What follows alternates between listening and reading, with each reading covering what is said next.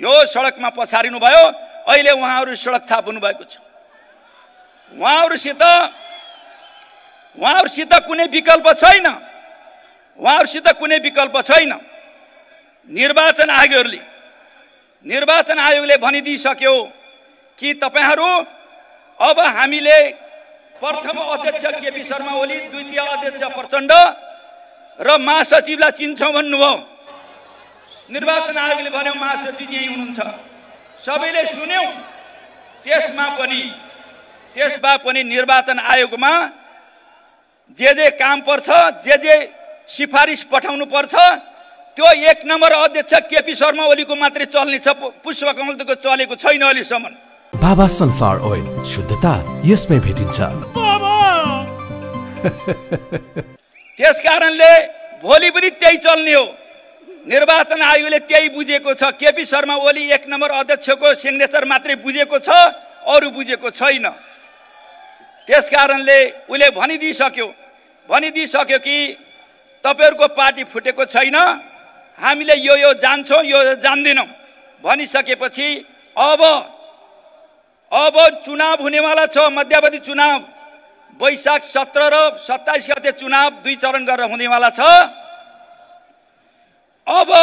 यदि हाम्रो पार्टीबाट छोडेर गएका सडकमा गएका साथीहरूले नेताहरूले के सोच्न जरुरी छ भने कि उहाँहरूसित केपी शर्मा ओलीजीको सिग्नेचर लिएर पार्टीको टिकट लिएर निर्वाचन चिन्ह लिएर उहाँको सिग्नेचर लिएर चुनावमा जान पर्यो? कि उहाँहरू पार्टीबाट चोइटिएर बाहिर जानु पर्यो? कि बहिष्कार गर्ने हो चुनावमा भाग लिने होइन भने मोहन वैद्यसित जानु पर्यो मोहन वैद्यसँग उहाँहरूसित अरू धेरै विकल्प छैनन् त्यस कारणले चुनाव हुनेवाला छ देश चुनावको पक्षमा उभिरहेको छ अगाडि बढ्दैछ त्यस कारणले मैले भन्न खोजेको कुरा के छ भने उहाँहरू संसद पुनर्स्थापनाको कुरा गरिरहनु भएको छ संसद पुनर्स्थापना हुनेवाला छैन उहाँहरू उहाँहरू न आगे न पछि कोही रास्ता है नै उनके पास कहीँ रास्ता छैन साथीहरूका साङ्गे अब गर्नुहुन्छ के? गर्नुहुन्छ भन्दाखेरि के गर्नुहुन्छ अकर्म नेता अब के गर्न थाल्नु भएको छ? भन्दाखेरि यो उहाँहरूको भनाइ के छ भने अब हाम्रो एजेन्डा आजको एजेन्डा के हो?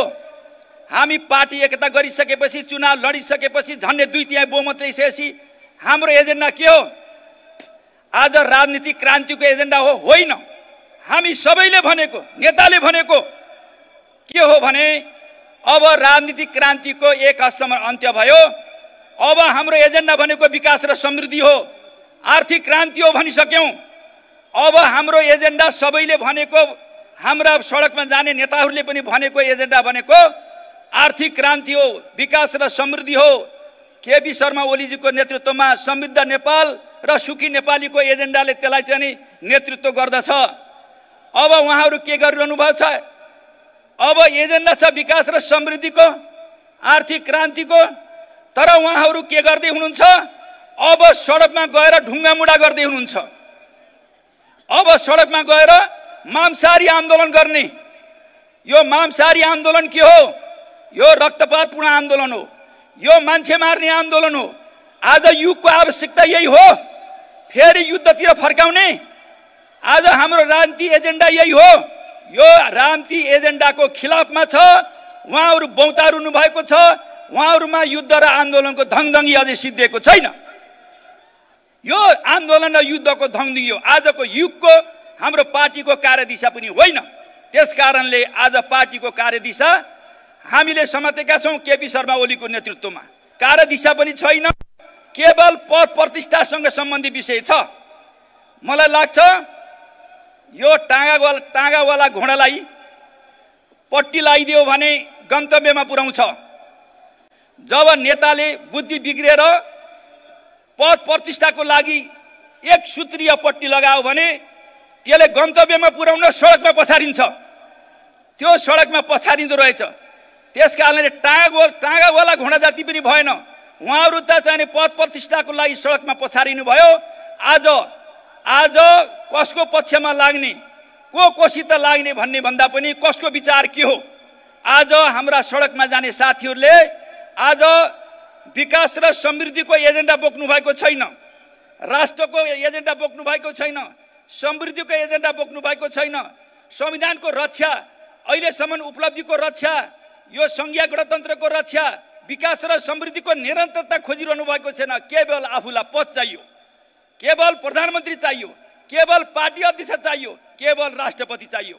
उहाँहरूको लागि जनता सती जाने? अब सक्नुहुन्छ भने जनताप्रति विश्वास गर्नुहोस् आउनुहोस् चुनावमा जाउँ।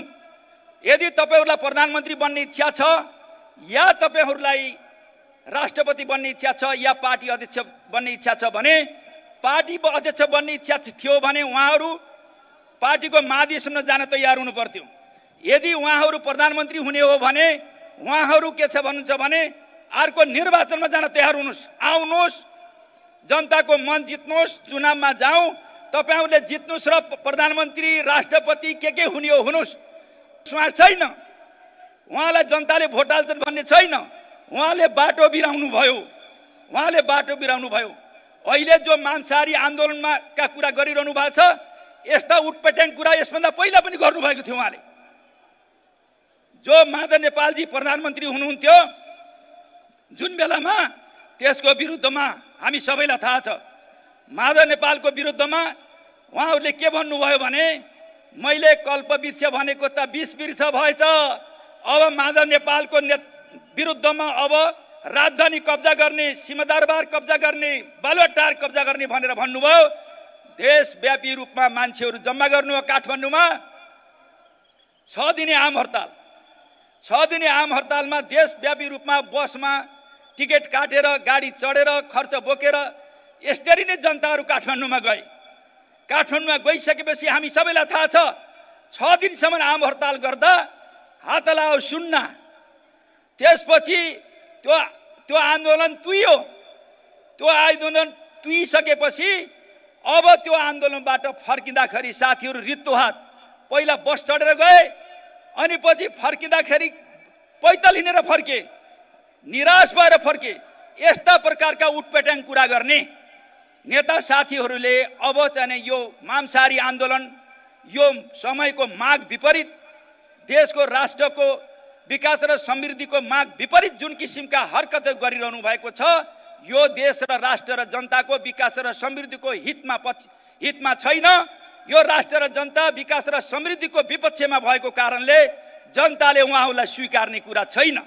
त्यस कारणले आज विचारको दृष्टिकोणले विधिको दृष्टिकोणले योजना र कार्यक्रम दृष्टिकोणले र राष्ट्र निर्माणको दृष्टिकोणले आज आज केपी शर्मा ओलीजीको नेतृत्वमा बनेको जो पार्टी छ त्यसले मात्रै अगुवाई गर्छ नेतृत्व गर्छ र गन्तव्यमा पुर्याउँछ गन्तव्यमा पुर्याउँछ।